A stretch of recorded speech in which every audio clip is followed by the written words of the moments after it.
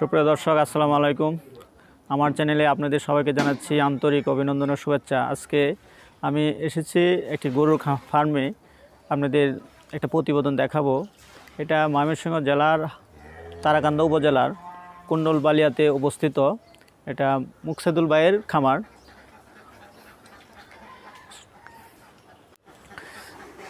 আসসালামু আলাইকুম। এটা খামারটা তো আপনার হ্যাঁ? আপনার নাম কি? মুকসেদুল। আচ্ছা আচ্ছা। এটা আপনি পরিচয়টা দেন একটু। আমি খাবারটা আসলে নিজের উদ্যোগেই প্রথম থেকে একটা গরু দেওয়া শুরু করছেন?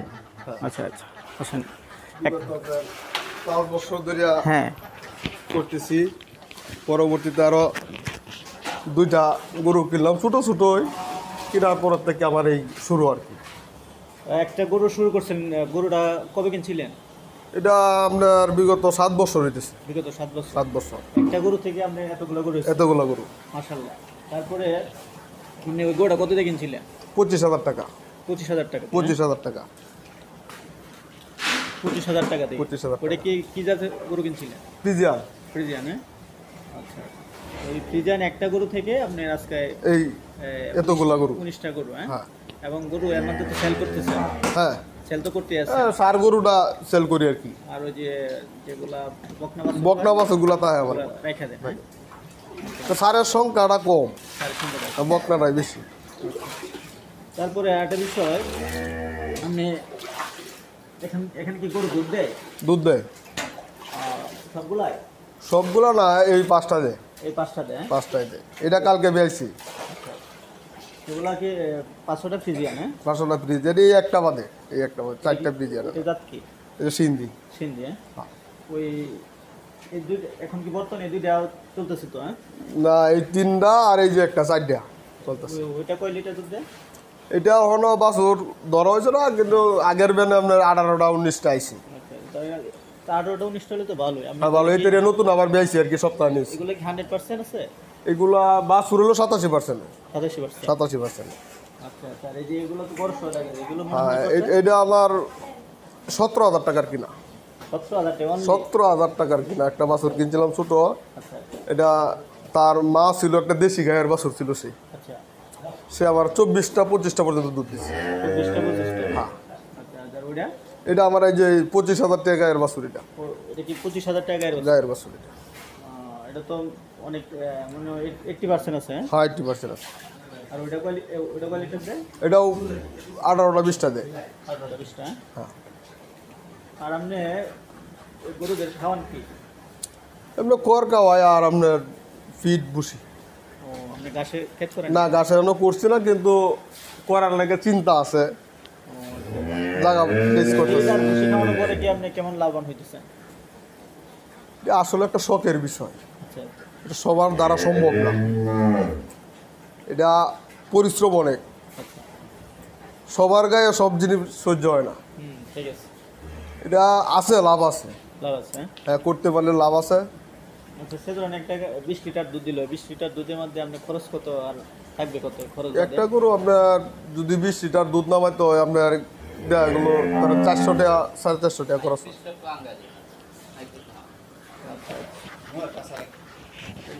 খামারটা একটু পর্যবেক্ষণ করি।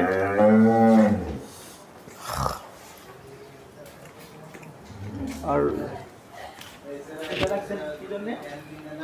এটা বাছুর তোর জন্য ছোট বাছুর। এটা বাছুর রাখার জন্য রাখছেন আর এটা হলো রাস্তা হ্যাঁ? রাস্তা। আচ্ছা আচ্ছা। এই রাস্তাটা কয় ফিট আছে? এটা হলো আপনার তিন ফিট সাড়ে তিন ফিট আছে। এটা হচ্ছে আট ফিট। আট ফিট হ্যাঁ? হ্যাঁ। গরুর জায়গার জন্য আট ফিট। আট ফিট। গরু থেকে একটা গরু দূরত্ব কত? এই আপনার চার ফিট আছে আর কি। হ্যাঁ? হ্যাঁ। এটা চারি ভিতর আছে আপনার আড়াই ফিট হ্যাঁ? হ্যাঁ। আর এটা রাখছেন? খড় তোয়ার জন্য। না না না আমি এই এইটা প্রথম করছি। এই হয়নি প্রথম। আমার এই গোয়ালঘরটা করতে আপনার চার লক্ষ টাকার মতন গেছে। না না না প্রথমটা কম গেছে পুরাটা আর কি। একটা সাবমার্সেবল সহ সব কিছু মিলে।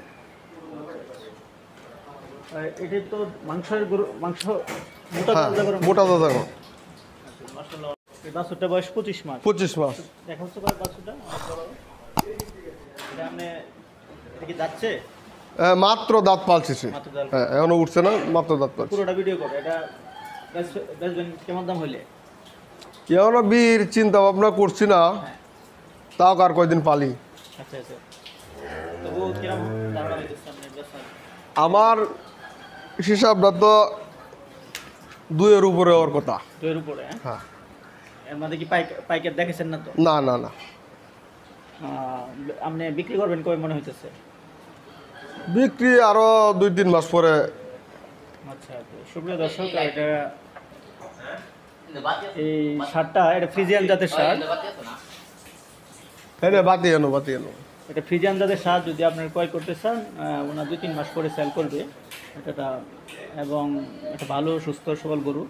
এটা এটা কি সিন্ধি জাত নাকি? না ব্রাহ্মা। ও ব্রাহ্মা। ব্রাহ্মা। ব্রাহ্মা জাতটা আপনি পাইছেন কোথায়? আমার ওই যে লাল সিন্ধি গাবি থেকে। ও ওইখানে বীজ দিছিলেন? হ্যাঁ বীজ দিছি। মাসাল্লাহ ব্রাহ্মা জাতটা একটু ভিডিও করে দেখো তো। কতদিন বয়স হয়েছে?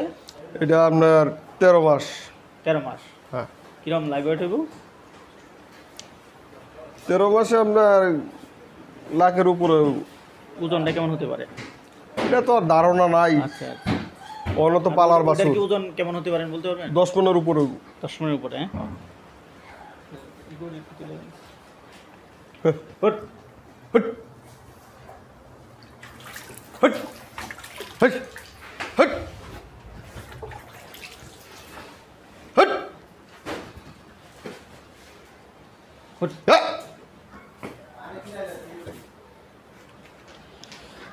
মুকসুদ ভাই আরেকটা বিষয় এ, পাঁচশোটা করে আপনি মাংসের জন্য হ্যাঁ?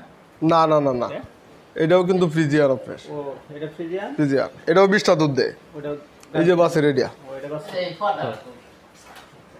পর্দাটা। না একটু সাহায্য দিলে। তাহলে বাতি আছে আমি বাতিটা জ্বালাই করে লইও। আচ্ছা এই বাসের থেকে এটা হচ্ছে এটা এটা ফ্রিজিয়ান হ্যাঁ ফ্রিজিয়ান। এটা কয়টা দুধ দেয়? এটা আপনার সতেরো আঠারোটা আছে। সতেরো আঠারো হ্যাঁ? হ্যাঁ প্রথম ব্যায়াম তো সতেরো আঠারোটা আছে। আপনি কি এখান থেকে বাছুর সেল করেন বাছুর সেল করছি না কিন্তু এখন করব। গরু আটটাছে না। আপনি তো জাগর শঙ্কর। হ্যাঁ। আচ্ছা আপনার এখানে সবগুলো জাত ফ্রিজিয়ান হ্যাঁ? কেউ কিনতে ব্রাহ্মা তো এক একটা বীজ একটা অনলি হ্যাঁ। একটা ব্রাহ্মা হয়েছে এবং বাছুর আপনি বাছুরগুলো কোথায়? এই যে বাছুর। ওইগুলো কি এর মধ্যে কি সেল করার কোনো বাছুর আছে? বাছুর সেল করব চিন্তাধারা করতেছি। আচ্ছা আচ্ছা। এই দুইটা। এই দুইটা সেল করবেন হ্যাঁ? হ্যাঁ। কেমন দাম চান? এই দুইটা পার্সেন্ট আছে এটা? এটা হলো আপনার সাতাশি পার্সেন্ট এটা এটাও সাতাশি পার্সেন্ট মাটা কয় পার্সেন্ট কত দুধ দিত? এটা বাড়া ওই যে এনো আছে। হ্যাঁ। বিশটা একুশটা দুধ দিছে। আচ্ছা আচ্ছা। গোয়ালির বাছুর সব। এটার দাম চাইতেছেন কেমন? এটা এক লাখ দশ হাজার টাকা। এক লাখ দশ। পরে কয় মাস হয়েছে বছরের বয়স? একবার হিডে আয়া গেছে কিন্তু বীজ দিছি না। ও একবার হিডে গেছে? হিডে আয়া গেছে বয়সটা আপনার চোদ্দ মাস। চোদ্দ মাস হ্যাঁ? নর্মালি কত মাস বয়সে আমার ফ্রিজিয়ানের আমি আট মাসের সময় বীজ দিছি। আর আট মাসের সময় বীজ দিছি এই যে বাচ্চা হইল এটা আর গাবি হইল এই যে এই প্রথমটা। আর এই বছরটা দেখো স্যার কাছে আসো। এটা কেমন দাম চান এটাও ফ্রিজিয়ান হ্যাঁ? এটাও ফ্রিজিয়ান সাতাশি পার্সেন্ট সাতাশি কালার কিন্তু ফ্রিজিয়ানের মধ্যে বিভিন্ন কালার কিন্তু আমারটা কিন্তু এই, জাত কিন্তু অরিজিনাল হলো কালো। হ্যাঁ। সবগুলো কিন্তু কালো। কালো লাগে আচ্ছা। এটাও আমার গাভীর বাছুর। এটা হলো আপনার এগারো মাস। হ্যাঁ? হিডে আসছে? একবার। দিচ্ছেন না? হলো কেমন দাম চান এটা লাখ টাকা। এক লাখ টাকা। হইলে। সুপ্রিয় দর্শক ওনার যেহেতু জায়গা স্বল্প এবং গরু রাখার জায়গা নাই ওনার গরু বিক্রি করে নাই। আগে থেকে গরু সংখ্যা বাড়াইছে এখন উনি আরও যেহেতু জায়গা সম্পদ ওনার গরু বিক্রি করতে চাচ্ছে। যদি আপনারা কেউ গরু কিনতে চান গরু বলতে বাছুর কিনতে চান তাহলে মুকসাদুল ভাইয়ের নাম্বার আমার ডিসক্রিপশন বক্সে দেওয়া থাকবে। আপনি ওনার সাথে কন্ট্যাক্ট করে ফোন নিতে পারবেন মানে হান্ড্রেড পার্সেন্ট পিওর কোনো মধ্যে ভেজাল নাই আপনারা কেউ প্রতারিত হবেন না নাকি? জি। এবং এগুলা এর মাগুলা বিশ লিটার দিয়ে হ্যাঁ আমার কোয়ালিটি তো সবগুলা। সবগুলা কোয়ালিটি আছে ওর মা হচ্ছে এবারও তো আবার দিতে আছে এবার কথা হয়। আচ্ছা আপনি গরু যেহেতু পরিচর্যা করেন আপনি নিজেই হ্যাঁ? নিজেই। আপনি কি এখানে কর্মচারী আছে? কর্মচারী নাই আসলে সাধারণত নিজেরাই সব কিছু করি আর কি। নিজেরাই করেন হ্যাঁ? নিজেরাই করি। আচ্ছা আচ্ছা। আপনি গরু আছে খাবার খাবার ব্যবস্থাপনা কি কখন খাবার দেন? এই যে আপনার দিনের দশটার দিক দিয়া একবেলা দানাদার খাদ্য হয় হ্যাঁ। পরে খড় দেওয়া হয় আচ্ছা। আবার রাতের দশটার দিক দিয়ে আরেকবার দানাদার খাদ্য। তাহলে সারাদিনে দুই বেলা খাবার হ্যাঁ দুই বেলা খাদ্য। বাকি সময়? বাকি সময় ওই রাত্রে পরে আর কোনো খাদ্য নাই আর একবার সকালবেলা। খাবার বেলা পানির বিষয়টা কি? পানি কীভাবে খাওয়ান পানি সাব বার্সাবুল আছে। হ্যাঁ। যে- না না না না। যেটুকু খায় হ্যাঁ। পরিমাণ মতো তার তো অভ্যাসই আছে কতটুকু খায় এই পরিমাণে দেওয়া হয়। আচ্ছা। খরচ কেমন যায়? দৈনিক খরচ আছে আপনার বাইশশো টাকা। বাইশশো টাকা কি বাইশশো টাকা। প্রতি গাভীর না, না। টোটাল টোটাল টোটাল ফার্মে উনিশ টাকার জন্য বাইশশো টাকা। বাইশশো টাকা। এবং আপনার দুধ থেকে কেমন টাকা আসে? এটা আপনার সাধারণত কিছু তাহে আর কি। আপনার পাঁচ সাতশো টাকা তাহে পাঁচশো টাকা? হ্যাঁ। আচ্ছা। দুধের দর তো কম। হ্যাঁ? দুধের তো কোনো চাহিদা নাই। হ্যাঁ। এখন তো পঁয়তাল্লিশ টাকা কেজি বিক্রি করতে হয়। আবার ক্যারিং করাতে জায়গা পাঁচ টাকা। আপনি এই এই খামারে কয় লিটার দুধ দিলি? আমার আপাতত তো গরু গাভিন আছে। এখন যেগুলো পুরো বেয়াইছে দুইটা নতুন বেয়াইছে। আগে যেগুলো আছে আপনার চল্লিশটা হইতো এখন দুইটা বেয়াইছে। ষাট সত্তরটা হয়ে যাব আবার।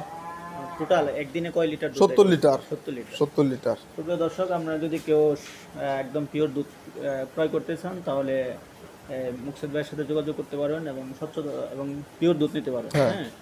এর মধ্যে খাঁটি অনেক ভেজাল কিছুই নেই। তারপরে আরেকটা বিষয় আপনি গরুরে গোসল কয় বেলা করান? দুই বেলা। দুই বেলা হ্যাঁ? দুই বেলা। কখন? সকালবেলা আচ্ছা আর? আরেকবার রাত্রে। গোসল করানো না গেলে প্রবলেম হয়? প্রবলেম তো ওই গরুর তো শরীরে তো গরম যেহেতু জাগা স্বল্পতা তো। হ্যাঁ। তাদের তো গায়ে তো গরম বেশি। তারপরে আরেকটা বিষয় আপনারা যে আপনার গরু কি কোনো রোগ টোক হয়? আমি রাহার পর থেকে আল্লাহ দিলে এরকম ধরনের কোনো সমস্যা হয়েছে না যেটাও হয় আমি নিজেই সমস্যা করি।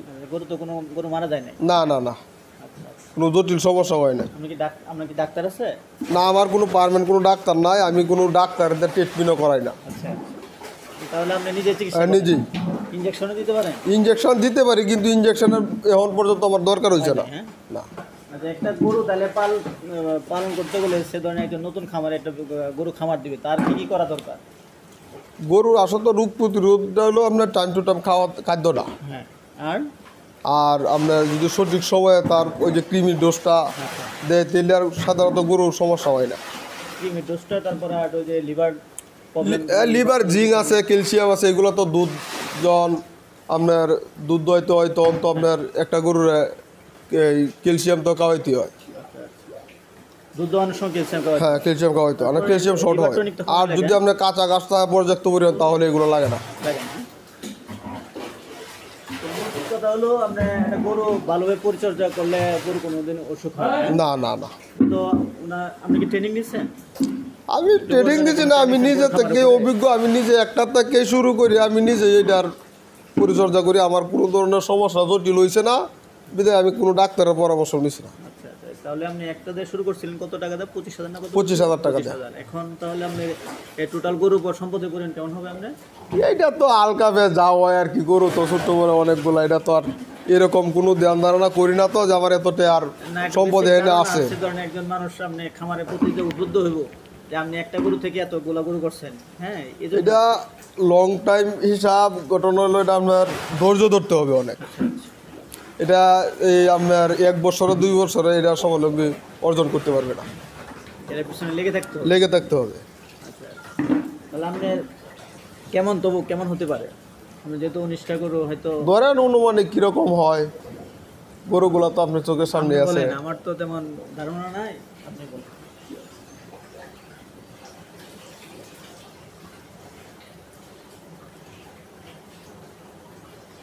হ্যাঁ তিরিশ পঁয়ত্রিশ লাখ তো হবে আমি শুনছি আপনি চাকরিও করেন? আর চাকরিও করি।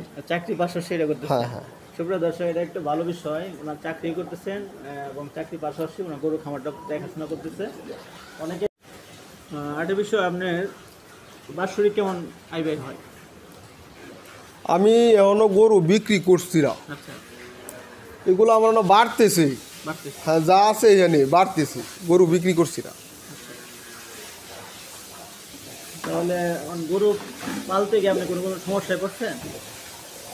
সমস্যা তো পরিশ্রম তো আছে সমস্যায় এরকম ধরনের আল্লাহ দিলে পড়ছি না। বিভিন্ন দিক দিয়ে যেমন আল্লাহ তুলে দেয়। আচ্ছা মুকসুদ ভাই এখন যারা নতুন খামার করতে চাই ওনাদের উদ্দেশ্যে আপনি একটু কথা বলেন।